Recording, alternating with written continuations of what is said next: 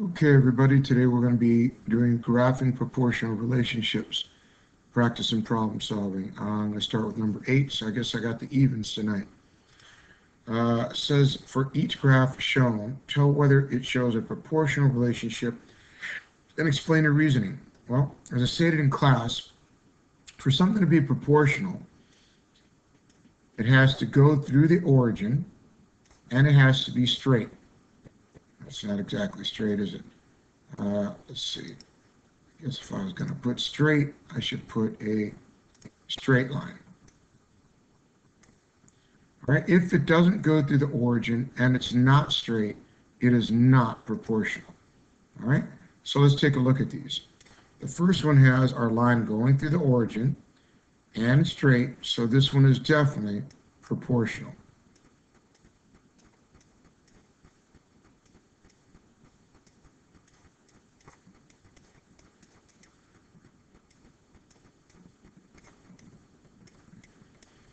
Okay? And if I was to explain my reasoning, it would be because it's straight and goes through the origin.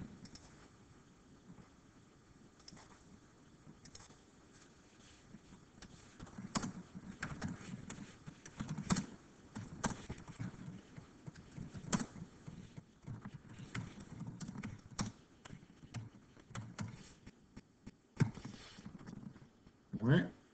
Uh, for B, we see that it does go to the origin, but the line is not straight. So it is not proportional. I'm just going to type this one out, make it a little easier on me. Not proportional goes through origin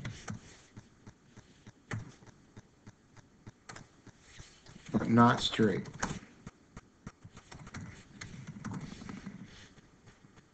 All right, and let's go to C. This one is straight, but it doesn't go through the origin. So again, it is not proportional.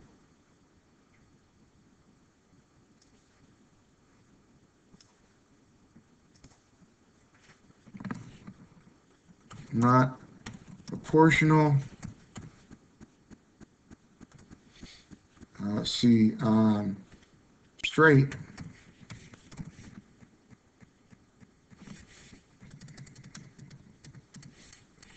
Line is straight,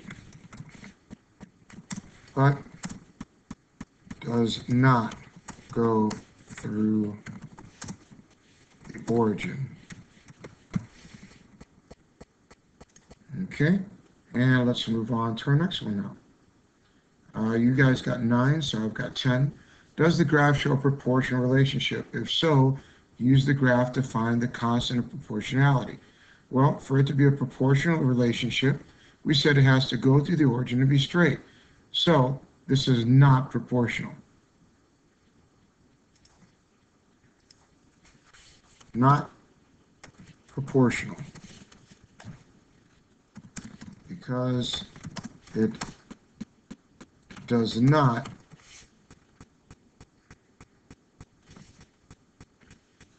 see, uh, go through the origin. And because it's not proportional, we do not have to find the constant of proportionality. It says if it was to find it, and it is not. Uh, number 11 is yours to do, so that gives me number 12. The point, uh, 0.5 and 1 over 10 and 7 and 1 and 2 fifths are on a graph of a proportional relationship. That means we automatically know because they told us that the graph does go through the origin and it is going to be straight. What is the constant of proportionality? Well, let's go ahead and graph this. If we had uh, 5.5 and 1 over 10, we realize that we're always putting y over x, and this is uh, in the form of xy. Uh, so the first thing we have to do is put both of these as decimals. All right, so if I'm going to put both of these as decimals, I would say that, uh, well, this is going to be 0.5. But 10 would be 1 divided by 10, right? And we'll put that in a calculator so you can see exactly how that turns out. 1 divided by 10 equals 0.1. So now we've got 0.1 or 0.5 and 0.1 is our uh, x and y. Since we put y over x,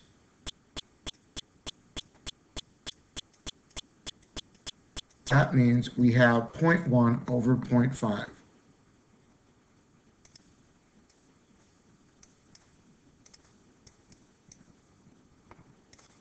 And so what will our constant of proportionality be? Well, once again, using our calculator, if we take 0.1 and we divide it by 0.5, we get 0.2.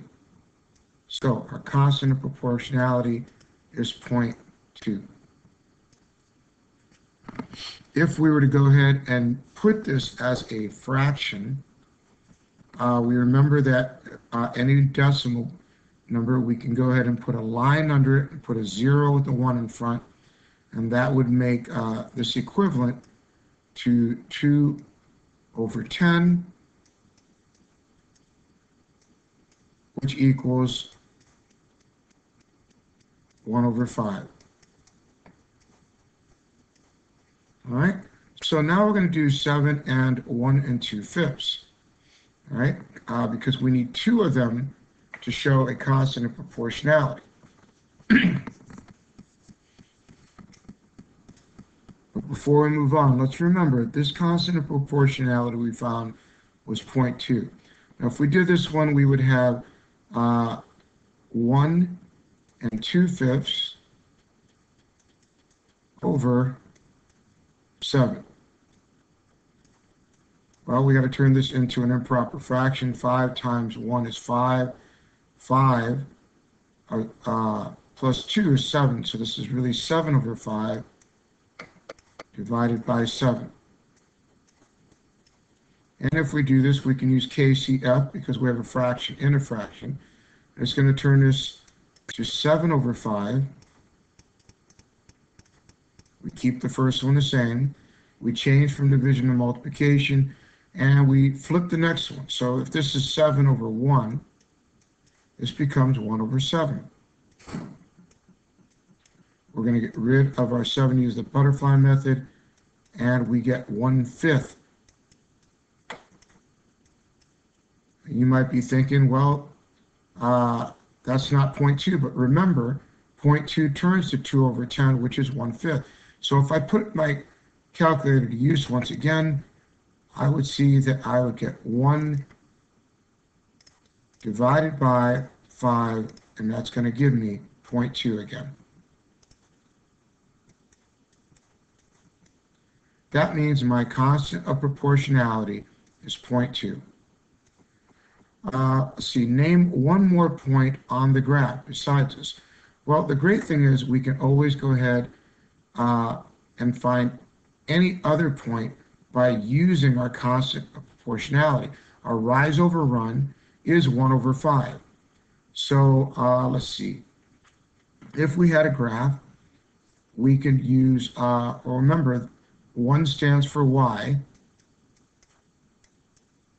and 5 stands for x.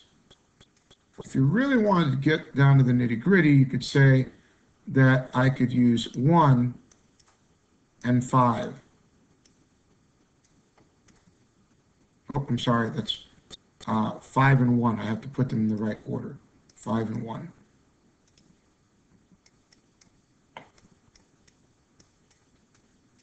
And that's going to go ahead and give me uh, another point on the graph. If I went over, it would be 1, 2, 3, 4, 1, 2, 3, 4, and 5, and then 1. So that would be another point right there on the graph that that line would have to go through.